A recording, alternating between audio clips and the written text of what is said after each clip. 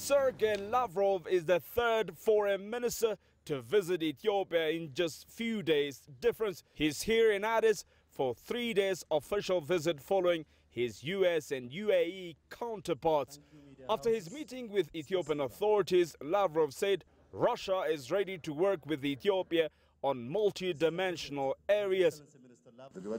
We have agreed to give an additional boost to the work of the Intergovernmental Commission for the sake of implementing joint projects in a number of domains, such as energy, including nuclear energy, hydropower, biological research, direct flight connection, and many others.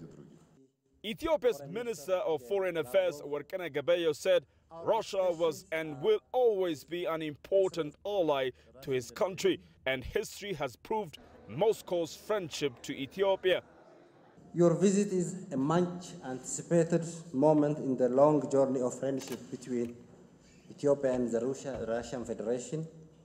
The visit is fitting occasion to the commemoration of 120 years of Ethiopian-Russian diplomatic relationship. And then the scoop of the day, Russia has proposed to build a nuclear energy facility to Ethiopia. The facility will serve peaceful purposes. Right now, talks are ongoing on establishing the Nuclear Technology Center in Ethiopia on the basis of already existing Russian-designed research reactors.